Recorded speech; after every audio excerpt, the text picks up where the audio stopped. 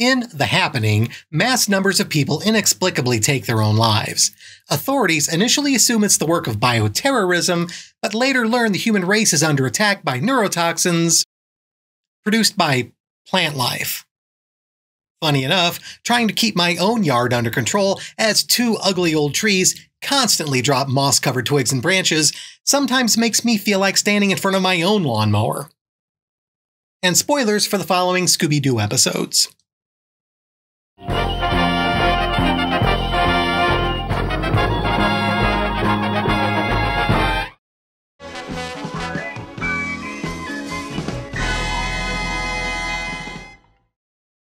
The gang are summoned to the Arctic Circle by an acquaintance needing their help.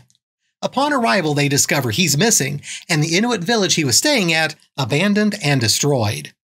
They soon learn the reason for both.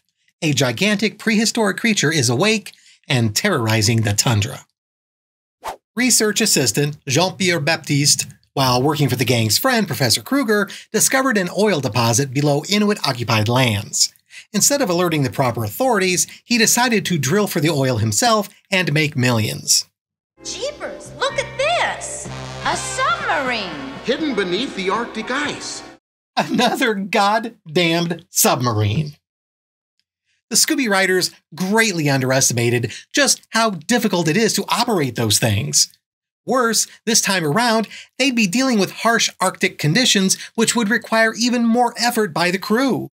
Baptiste and a never seen accomplice built three oil derricks under cover of night and disguised them as 50 foot tall totem poles, with the stolen crude pumped directly to a submarine hidden underground for transport.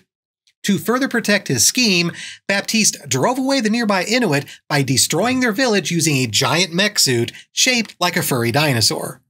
This disguise was chosen due to a local legend of a snow beast that guards sacred land. The bad guys using a Native American legend and a submarine to carry out their scheme. Why does that sound familiar? Both of those elements literally appeared in the previous two episodes. And speaking of repeats, the show once again ignored real world logistics by implying that two men would be enough to carry out a criminal scheme of this magnitude. Then he and a driller from the Alaskan pipeline built the derricks during the night. And began smuggling oil out beneath the ice in converted submarines. Oil drilling is a dangerous, messy, complicated process that requires over a dozen highly specialized positions be filled by trained professionals with years of experience. Only if Baptiste had worked for an oil company or came from a background of drilling would this plan have made sense and it's clear that the writers recognize this as they added a line about a never seen accomplice being a driller from the Alaskan pipeline. But even then, the idea of just two people being able to pull this off is ludicrous.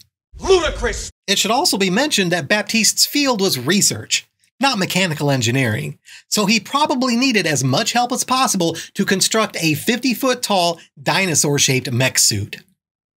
I'm starting to sound like a broken record at this point, but a submarine is also impossible to operate with just two men. That a submarine keeps getting shoehorned into these Scooby episodes had me wondering if either Bill Hanna or Joe Barbera served on one. But apparently, neither man was ever in the military. But I'd be willing to bet somebody on the writing staff had a real obsession with them. Continuing with the repeats, I believe that Baptiste is yet another foreign operative though this is problematic to assert because at no point are we told where this episode actually takes place. Velma mentions the North Pole early on, but for reasons I'll get into later, the gang could not have been that far north. I am Manuk, chief of this village. Our ancient legends say the great beast comes to life when man invades the sacred lands of the north. Chief Manuk here is an obvious reference to Nanook, the subject of a famous 1920s documentary about an Inuit man living what was thought at the time to be a typical Inuit lifestyle. The film eventually faced criticism over how much of it was staged by the producer and that what was depicted was not how those indigenous people were living at the time. It would be like making a documentary about New Englanders in the 1970s, but dressing them as 17th century Quakers. Though at least the film didn't feature any submarines. I'm assuming. I've never actually watched Nanook of the North. I mean, come on. It's a silent movie. Inuit can be found in locations spanning several countries in the Arctic, including the United States, Canada, Greenland, and even Russia. The fact that Chief Manook speaks English and Professor Kruger was stationed there makes me feel Greenland and Russia can be ruled out. With the villain having such a stereotypical French name, I'd argue this episode takes place in a Canadian jurisdiction. The hostile foreign government, then, would likely be Russia, especially considering how active their naval presence is in the Arctic Ocean. And is it that unfair to assume they'd be willing to steal oil from other countries or destroy the homes of innocent villagers? I mean, just look at this asshole. Then again, Baptiste's backers didn't have to be a foreign government. Setting aside the criminal implications, a large petroleum company would have the necessary resources to build and maintain oil derricks. And though not what we see in the episode, submarines have been used to explore the ocean looking for potential drilling locations. It's entirely possible that a crooked oil company may have been secretly developing a submarine transport vessel to covertly move crude from illegal drilling locations. Keeping this operation secret would also allow the company to avoid the tedious and expensive hassle of following environmental regulations. Indeed, submarines have been proposed as a method for transporting oil in the real world, but were rejected due to concerns over the environmental hazards such vehicles would present. But let's face it, has concern for the environment ever stopped a petroleum company from acting in its own best interests? For the sake of argument, Let's assume that somehow Baptiste and his unseen accomplice were able to build the oil derricks and totem poles and somehow managed to get their hands on a submarine capable of transporting crude. This would still be an absurd amount of work for just two men, and the risk of getting caught would always remain sky high. Instead of trying to keep all the oil for himself, wouldn't it have made more sense for Baptiste to contact an oil company and secure a lucrative finder's fee? He could have taken a sample to one of the major petroleum producers to test, telling them he knew of a hitherto undeveloped location and for the right amount would disclose where it was. Better yet, Baptiste should have secured the services of a couple of unscrupulous lawyers to broker the deal. This would have kept his own identity hidden so as not to risk the oil company hiring investigators to follow him to see if they could find the secret oil location themselves. Granted, a finder's fee wouldn't be worth nearly as much as keeping all the oil for himself, but it would be a lot safer and still make Baptiste a very rich man.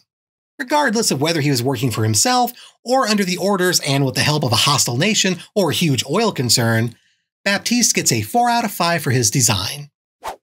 This was an extremely lucrative scheme, despite the constant risk of getting caught.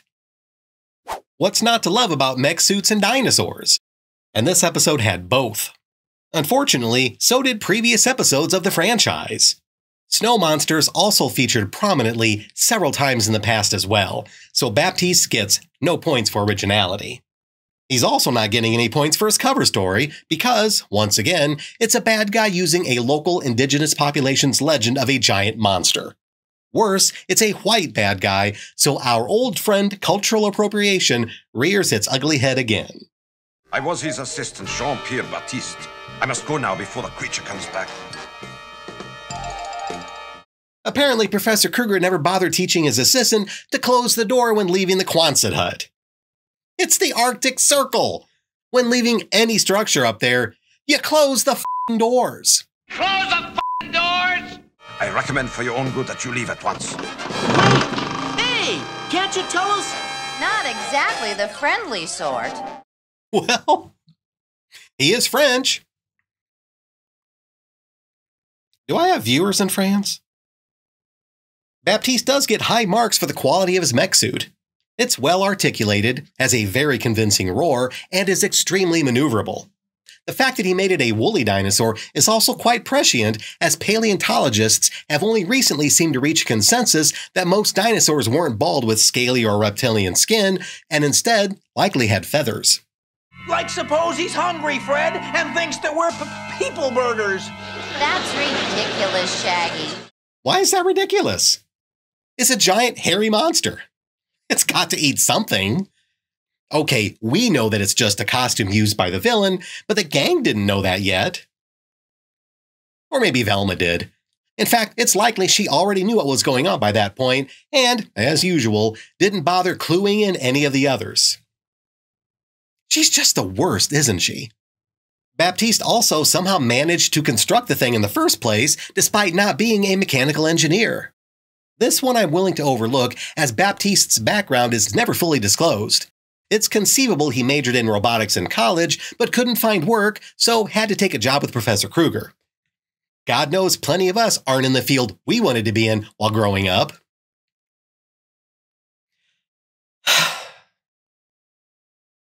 It's interesting that Baptiste managed to solve an issue that plagued the crew working on the giant T Rex prop for the first Jurassic Park film. The skin of their animatronic beast was made of foam rubber, which absorbed the water used to make it rain during the electric fence scene, eventually causing the prop to shudder because the internal mechanics weren't rated for the weight it suddenly had to support. Baptiste's snow beast was covered in fur, so imagine how much water it absorbed while running through the Arctic and standing around in a blizzard. Yet it still performed flawlessly. In fact, it's a testament to the design that it managed to operate in the severe Arctic temperatures at all. Kudos to the villain, and whoever had to have helped them build the thing. I can't help but think their monster design would be worth more than all the illegal oil they would have managed to haul away. One thing viewers had to notice, though, is how inconsistent the Snow Beast's size was throughout the episode. When first seen holding Professor Kruger, the monster appears to be around 30 feet tall based on the height of the man it's holding. Everybody run! Hide!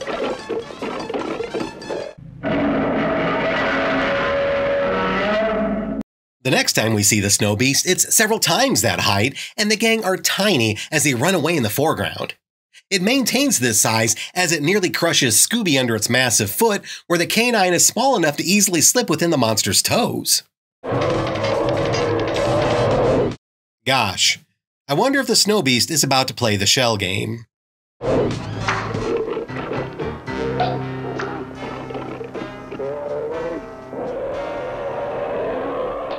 The Scooby writers really loved that joke, didn't they? Here, the snow beast is smaller again, yet still obviously larger than its first appearance in the episode.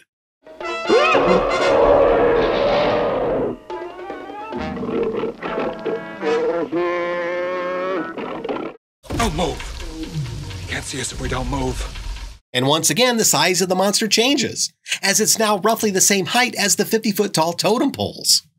While chasing Shaggy and Scooby in the ice tunnels, the snow beast shrinks again to around 20 feet tall or so. Well, well, well, what kept you, Mr. Beast? Uh, come down here, please, so we can check those pearly whites of yours. Scooby's dressing as a girl again.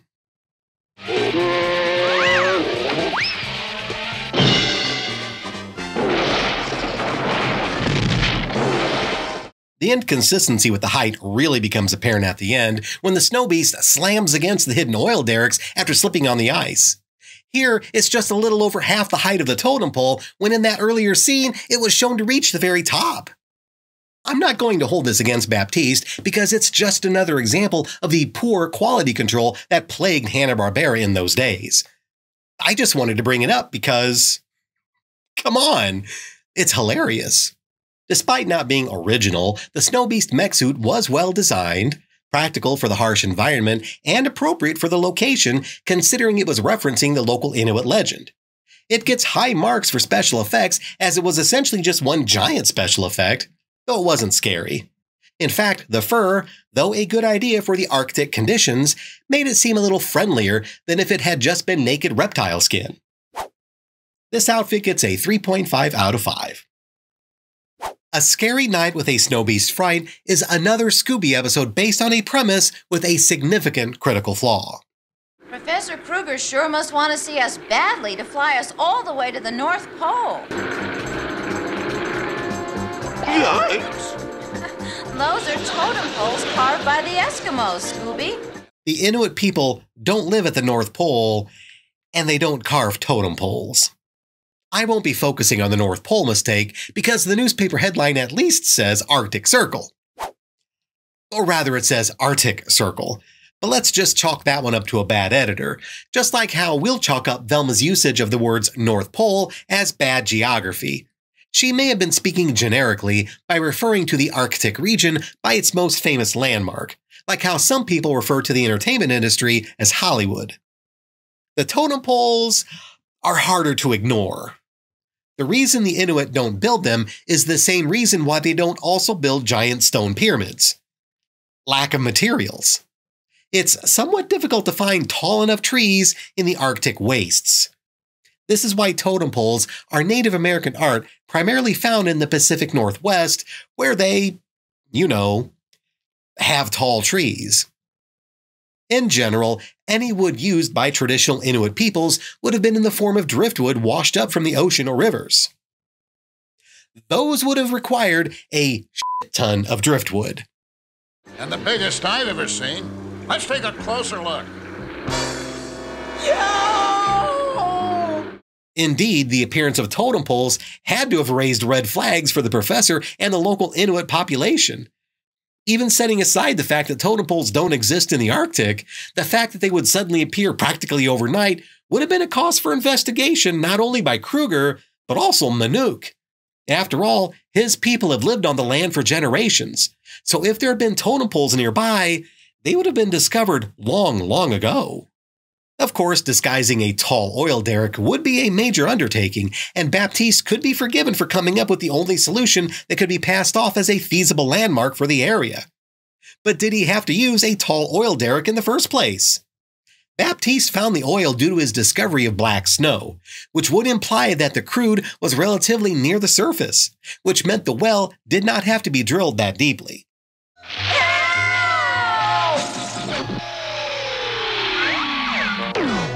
We're not through yet. If I can lasso that ice up there, maybe we can climb out. Terrific, Fred, you did it! Where in the hemorrhaging f- did he get all that rope? If it's Shaggy and Scooby's pocket dimension, why not just pull out the bikecopter again and fly out? Our only chance is to find another way out. Let's go. Zoinks! The eyes of the m- m- m- monster! Shag. It's just a pair of lighted tunnels in the ice. Wait, why didn't they already look for another way out? Why did they try climbing out with a rope first? Especially since they so quickly found a couple of obvious tunnels. Small oil drilling machinery exists. They make pump jacks small enough to fit in the back of a pickup truck.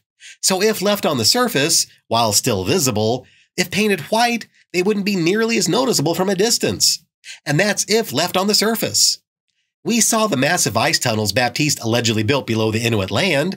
Instead of three massive oil derricks above ground, why not a dozen smaller pump jacks underground? Continuing on, the episode begins with another kidnapping, which is bad enough, but worse because it involved a friend of the Scooby Gang. As his research assistant, Baptiste should have been aware that Professor Kruger was flying the teenagers in.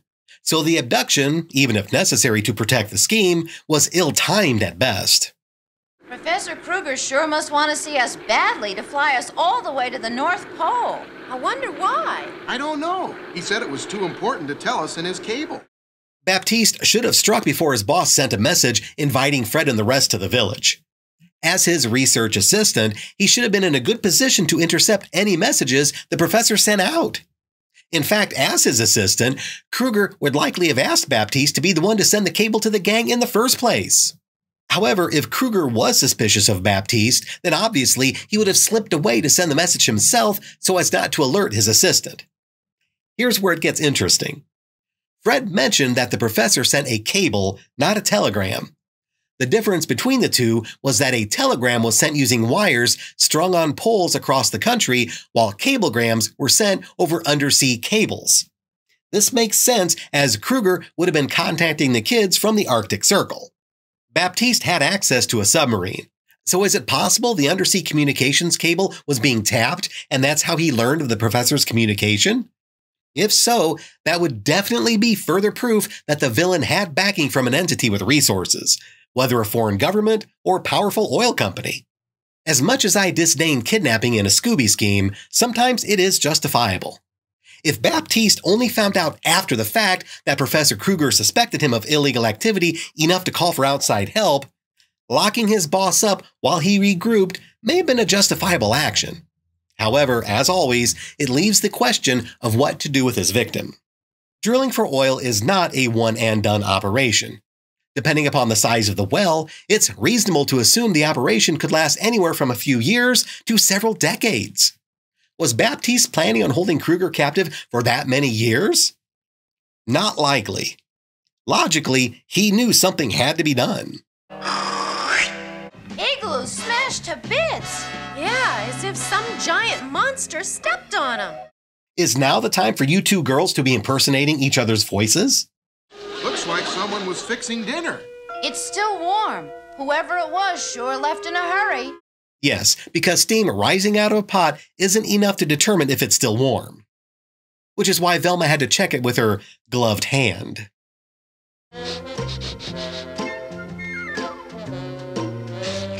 Oh boy, oh boy, oh boy, oh boy. Gosh, I wonder if that's actually food in the pot Scooby is about to eat from. Yuck! Pooey. The Scooby writers really loved that joke, didn't they? he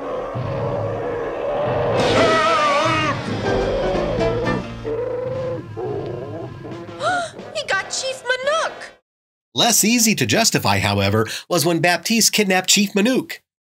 This was the last person that he should have wanted to make disappear because Manuk had accepted the Snow Beast disguise hook, line, and sinker. Hook, line, and sinker. Baptiste should have wanted Manuk to be free to spread the tale of how the legendary monster destroyed the village, discouraging other local Inuits from investigating what happened to their neighbors. But no, Baptiste scooped up the chief, and now he had two problems to deal with. Snow Beast? Hmm? It smashed our igloos and drove off my people. And if you think I'm not giving Baptiste enough credit not to consider murder, not only did he try stepping on Scooby when kaiju sized, but Manook said the snow beast smashed the igloos and drove off his people. In that order. Baptiste had to have known the homes he demolished were likely occupied at the time, and he could have severely injured or killed anyone inside them. Incidentally, by the time this episode was produced, most Inuit villages in Canada were comprised of prefabricated wooden houses, while igloos were traditionally only used as temporary housing while hunting away from home. And that's only if the hunters didn't pack their tents. The producers of Nanook of the North weren't the only ones who didn't do their homework. Finally, looking past the flaws I've mentioned, if Baptiste assumed the totem poles would be enough to hide his oil derricks, why did he bother with the snow beast in the first place? Or if he was going to drive away the villagers, why did he bother with the totem poles? One of those by themselves should have been enough for a scheme, but both at the same time was not only overkill, but increased the chances of getting caught.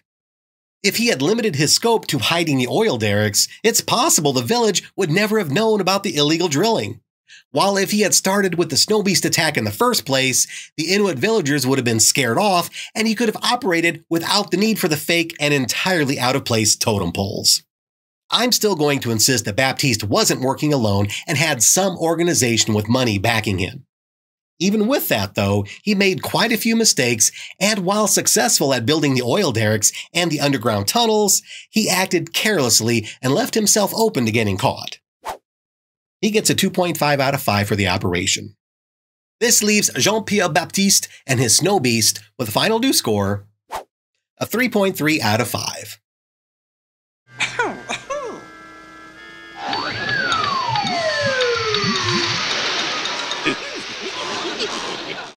They really need to get Scooby fixed. Worst dog owners ever. And I would have made millions if it hadn't been for you meddling kids. That's not the officer's arm holding Baptiste's elbow. But it's not exactly far enough south for it to be something problematic. I would like to take a moment to thank my new Patreon members and apologize in advance if I mispronounce any names.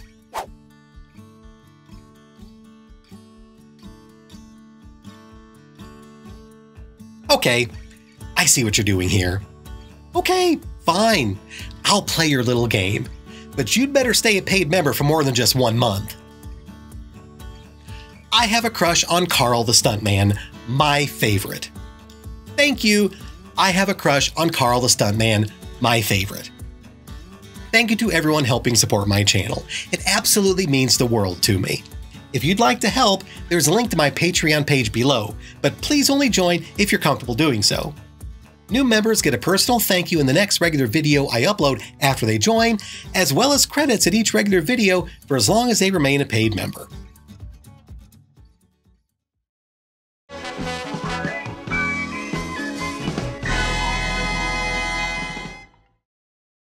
A disconnected phone call on Halloween prompts the gang to visit their friend Arlene in a New England town famous for its witch trials.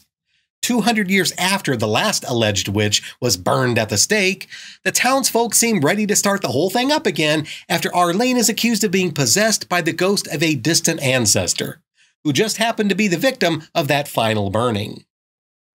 The gang's friend, Arlene Wilcox, had a secret identical twin sister who, for whatever reason, had been separated from her at birth. At some point, Arlene's sister learned of this and, instead of booking a heartfelt reunion on The Donahue Show, devised a scheme to drive Arlene out of town and seize the family estate for herself. Before going any further, let's take a moment to fix something that would otherwise make discussing this episode's villain somewhat cumbersome. Their name. Arlene's twin sister is never given one. I'm going to rectify that by henceforth referring to her as Charlene. Hello, Charlene. I'm Arlene. You'll be safer here, Arlene, and whatever you do, don't open the door for anyone. That's good advice, Fred. I'm sure she'll keep it to heart. Another issue I had with this episode was determining where exactly it takes place. Early on, the Mystery Machine passes a sign referring to the town as Old Salem, which is actually a historical district of Winston-Salem in North Carolina. Yet everything else about the town, its history of witch trials and how the citizens dress and speak, makes it clear the location is somewhere in New England. All other signs seen in the show simply say Salem, and while the southern states have their own history of unjust persecutions, witch trials are generally considered a Northeastern concept. So I'm going to proceed under the assumption that Old Salem is meant to represent Salem, Massachusetts. The real Salem does have a pioneer village for historical reenactments, and though it's not called Old Salem, who's to say it's not called that in the Scooby Doo universe? And the sign the gang passed in the beginning was simply marking the boundary of the tourist trap. These events taking place in a reproduction of 17th century New England would explain the outfits at any rate. Charlene was aided by Gar Mooney, the caretaker of the local graveyard.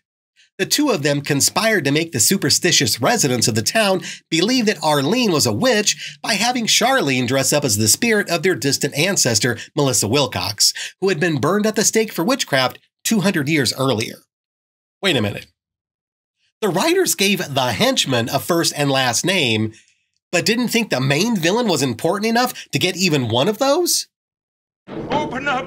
She's risen from her grave on Halloween. Stop babbling, you fool! Who has risen? Melissa Wilcox, the Witch of Salem. Mooney would convince the puritanical town councilman, Squire Marley, that the ghost witch of Old Salem had risen from her grave to possess Arlene. Hoping the lynch mob Marley would inevitably rile up would frighten the girl enough to flee town and abandon her estate. This would leave Charlene as the only one left with any claim on it. Wait a minute. A Scooby villain is trying to get hold of a young female family member's real estate by making people think that she was a supernatural entity. Why does that sound familiar?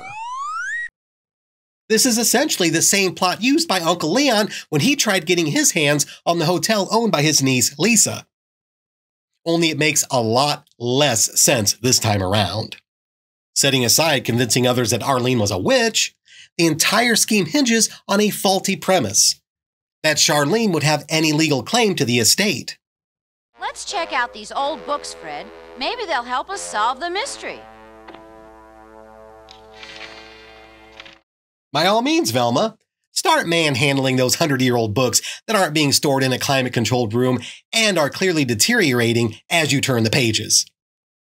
I suppose the museum should count itself lucky that those books are the only things getting ruined by the Scooby Gang. the Wilcox family records. And look here. When it comes down to recording Arlene's birth, it just says Gemini and everything else is blotted out. We realized you had a twin when we found the family record. Your missing sister's name had been carefully blotted out. Carefully blotted out. Carefully blotted out.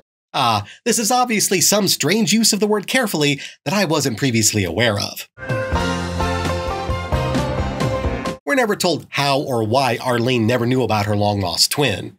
While it may seem strange that no one ever told her about her sister, there could be several feasible explanations for why their parents put Charlene up for adoption at birth. Perhaps Warren and Jane Wilcox couldn't afford to support two children. Or Charlene had medical issues that the parents were ill equipped to handle, and it was determined it would be better for the child to become a ward of the state or raised by another family with the means to cover her medical care.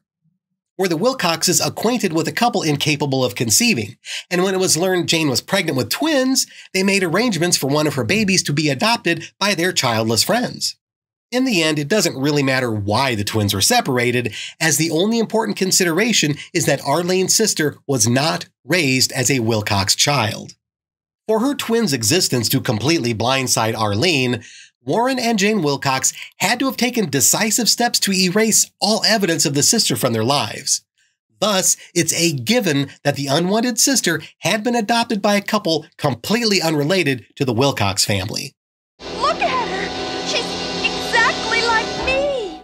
If Charlene had been taken in by, say, an aunt or an uncle to be raised as one of their children, Arlene would have at some point learned she had an uncanny resemblance to one of her cousins.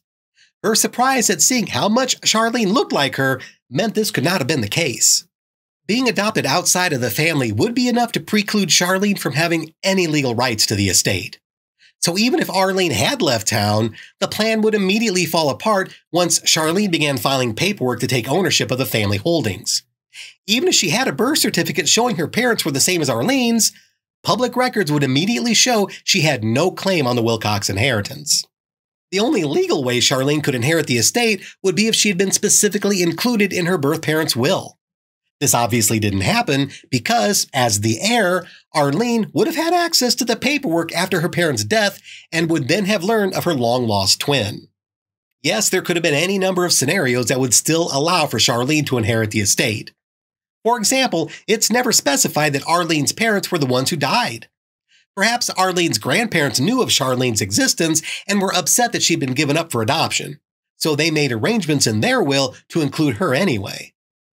They could have even disinherited Warren and Jane and only included the twins in their will, with instructions that Charlene's existence would remain secret unless something happened to Arlene. But if the grandparents were that upset that the twins were separated, would they have remained silent and not told their remaining granddaughter of the circumstances surrounding her birth? Setting aside all the supposition, there was a much easier way that Charlene could have taken over the family estate. But I'll discuss that later. A final significant legal roadblock remained for Charlene. Just because someone leaves town doesn't make their property up for grabs. For instance, if a house has a mortgage on it, the bank would eventually foreclose after enough payments were missed. As the Wilcox estate had presumably been in the family for generations, it's unlikely to have had any liens. However, if the property taxes aren't paid, then the town of Salem would eventually sell it off in a tax sale. Either way, it wouldn't just be given to Charlene, even if she could prove her paternity. Let's assume for the moment that Charlene had a legal claim to the property, there was no mortgage, and the property taxes were being kept up to date. How would it be proved that Arlene had abandoned the grounds, or was otherwise never going to return? If someone dies without a will, the courts generally award their estate to the most appropriate next of kin. This can be a long, drawn out process that could take years to complete as it's necessary to determine the identity and location of all possible survivors. If someone can produce an older legitimate will or other documentation showing a family relationship, that's often enough to satisfy a judge.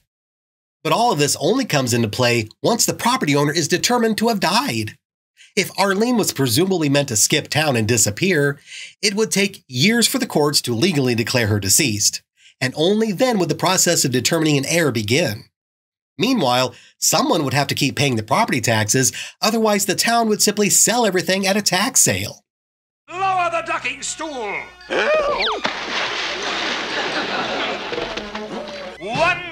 your chance, witch. Confess. Again!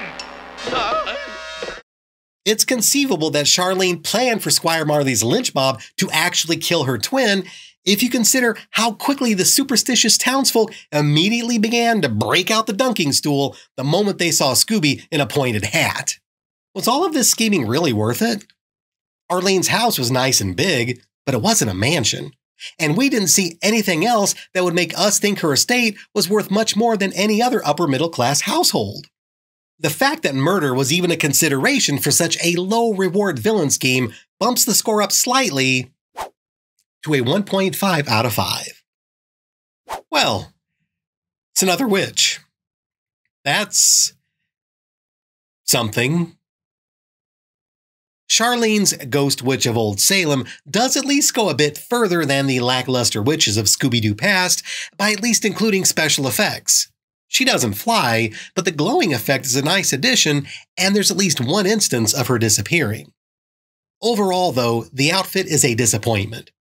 If you're thinking I'm being unfair, just remember that not only did the mannequin in the Salem Witch Museum have the exact same appearance as the Ghost Witch, but long before running into her, Shaggy had picked a trick or treat disguise seemingly at random for Scooby that also matched the general design of Charlene's outfit. Two other previous witches in the franchise had essentially the same color scheme as well. Not to mention, one had the exact same head covering, except the colors were reversed between the hat and the sash. To be fair, Charlene was somewhat limited in her options, considering her plan hinged on the Ghost Witch looking exactly like her twin sister. So, apart from a green wig, fangs, and goth makeup, anything else she might have added would have made her look less like Arlene. But would that have been such a bad idea? The scheme needed the townsfolk to believe that the ghost of Melissa Wilcox had risen from her grave to take possession of the body of her descendant. So wouldn't it have made more sense for Charlene to have used two disguises? One disguise should have been an old crone with the traditional witch attributes like wrinkles and a giant nose with warts. Charlene could have worn that one first to show Melissa Wilcox rising from the grave. She could then have altered her makeup later to look more like Arlene, which would have made it more convincing that the ghost had taken over the body of her sister. This would, of course, have required a lot more effort, not only by including costume changes, but Arlene would have to have been abducted or otherwise incapacitated while Charlene was pretending to be her. While tricky to do this in the real world, hypnosis and memory altering drugs are both a mainstay of the Scooby Doo universe, so it would have been entirely doable. Squire Marley and his lynch mob coming across a dazed and confused girl who had no recollection of the previous hour or two would go a long way toward convincing everyone that Arlene had not been in control of herself while the ghost witch of Old Salem was terrorizing the community. I've already given more thought to Charlene's disguise than she or the writers did, so I'm going to leave it here with an outfit score of 2 out of 5. Boring and unoriginal, but at least she glowed. If you're a costumed Scooby villain and you're going to pick one night out of the year where you need to convince the citizens that a real ghost or monster is roaming the town, why in the hell would you pick Halloween to do that? You would need to pick a community so stupid that they think you were a real monster and not someone in a costume on literally the one night of the year when half the town is dressed up in monster costumes. Fortunately for Charlene, that town was Old Salem, and the torch carrying townsfolk were apparently that stupid. This fact makes it a little more difficult to rate the villain for how well they carried out their scheme, because the bar is now automatically a lot lower than usual. Didn't she say what was wrong, Velma? She started to, but the phone line went dead. Like, remember it's Halloween and Scoob and I want to go trick or treating, right, Scoob? First, we'll help Arlene, and then you two can go trick or treating. Fred's got a point this time, Shaggy. Your friend sounds like they're in trouble, and you're more concerned about missing trick or treat? Worst friend ever. Cemetery is a word that a lot of people have trouble spelling.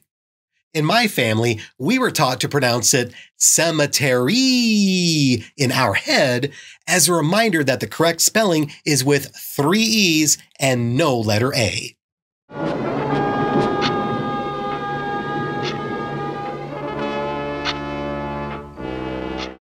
Can you imagine being a little girl in the 1970s named Lucy Leon and seeing your gravestone on Saturday morning TV? That's the kind of thing that could mess you up for life. Charlene doesn't do very much in this episode. Her first appearance is when she frightens Mooney in the graveyard, prompting him to run to Squire Marley to report the sighting. Remember, Mooney was actually Charlene's henchman, or partner. So was this even necessary? The graveyard was deserted, so surely Mooney could have simply lied to Marley about seeing the ghost witch, right? Don't call me Shirley. She next appears in front of both Marley and Mooney, convincing the former of the ghost witch's validity and prompting him to warn the village against Arlene. I say appears, but she didn't seem to have moved from her spot behind Melissa Wilcox's grave. So really, all she did was hang out for about 10 minutes until the men arrived. Charlene is then seen again scaring Shaggy and Scooby in Arlene's house, but disappearing before anyone else could see her.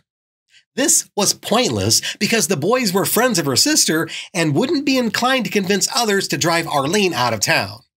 It was also a mistake because while she was inside, battery acid dripped from her disguise, burning the hallway rug and providing the gang a valuable clue. Following this, Charlene ran to the cemetery to stand at her favorite spot behind the grave, waiting until the gang got a good look at her before disappearing, leaving behind yet another clue as to how the special effects on her outfit worked. I found something. A piece of wire, and it's hot. Hmm.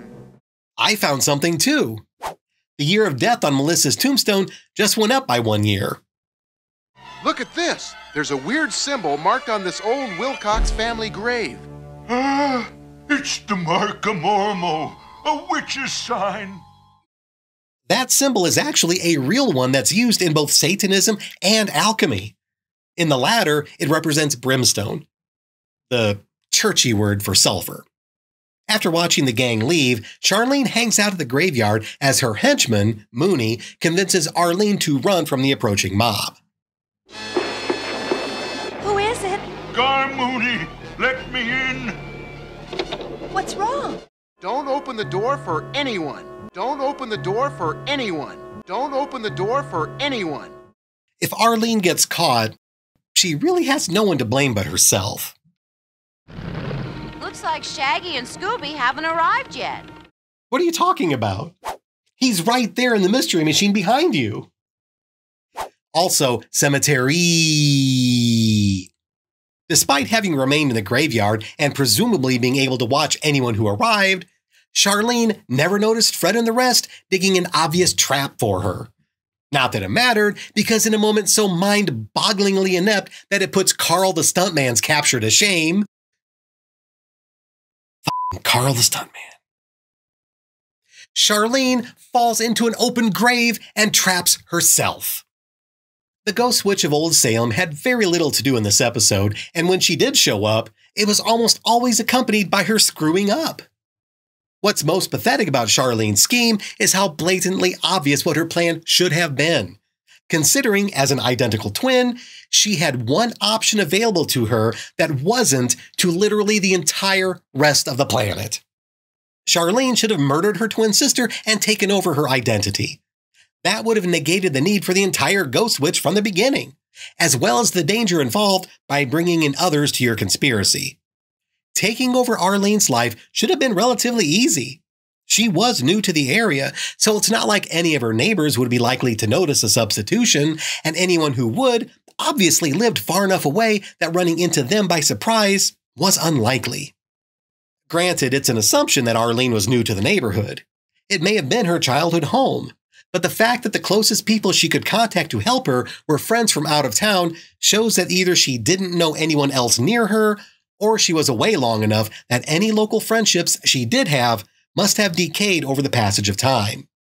Charlene could not only have taken over Arlene's life, but could have staged her own death extremely convincingly, what with having access to the body of an identical twin.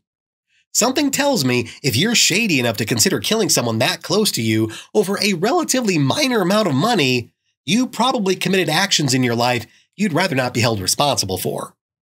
I wouldn't be surprised to learn Charlene was a wanted criminal long before she visited Old Salem. If you think she wasn't capable of killing her own twin sister, just remember that Charlene's plan involved setting a lynch mob after Arlene. She wasn't above using violence to achieve her goals, whether or not it was her own hands getting dirty. In fact, as seen in the episode, the mob was actually much more dangerous than the two villains.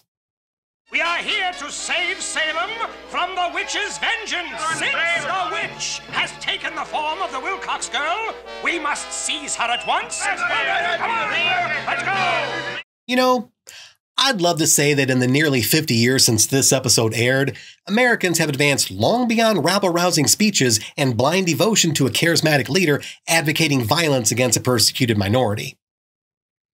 I'd really, really love to say that.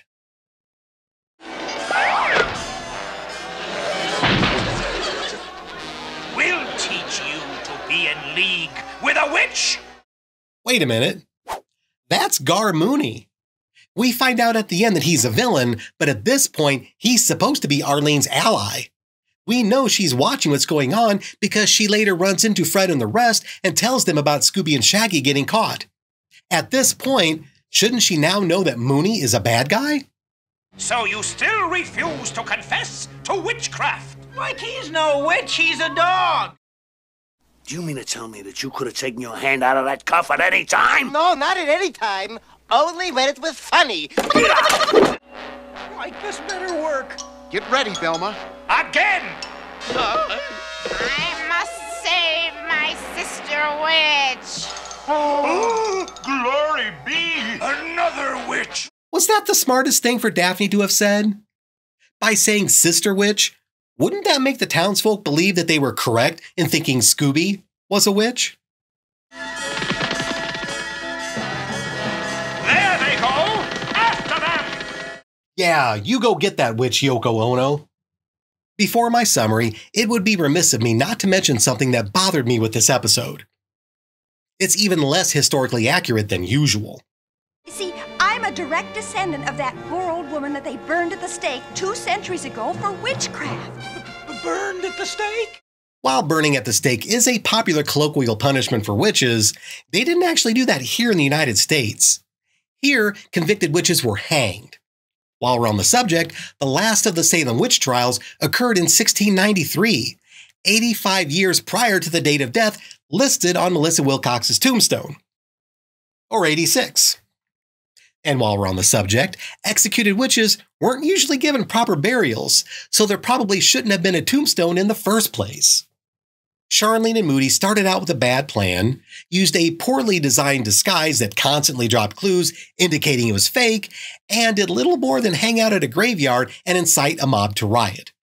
Worse, almost every time the Ghost Witch did make an appearance, it was either pointless or provided an opportunity for the gang to debunk the cover story. The two villains did act with a certain degree of ruthlessness, both by putting an innocent girl in danger of serious injury or death, as well as pretending to be a friend while secretly working against her. It also takes another layer of evil not only to plot against a family member, but one as close as an identical twin. Our apologies for what happened, Miss Wilcox. You waterboarded a dog and assembled a torch carrying lynch mob. I don't think sorry is going to cut it here, Squire Marley. As for you two, you're going to jail. Jail? Oh, so there is an actual legal system at play in Old Salem, and it's not just mob justice. Good to know. Even when caught, neither villain did much.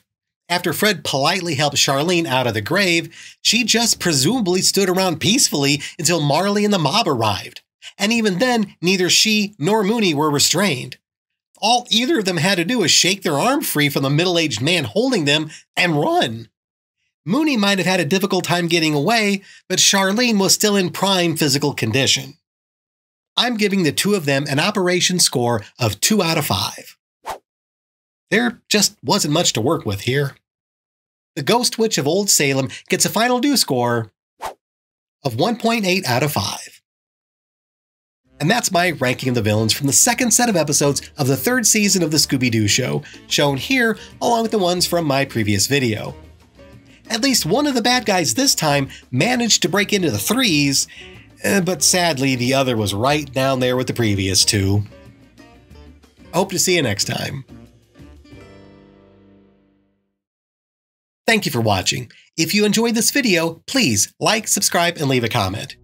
If you'd like to help support this channel, there's a link to my Patreon below, but please only join if you're comfortable doing so.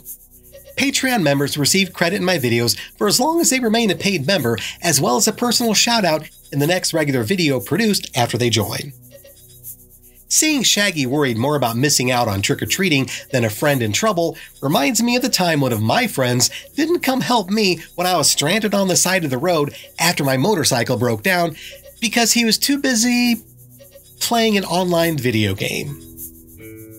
Worst friend ever.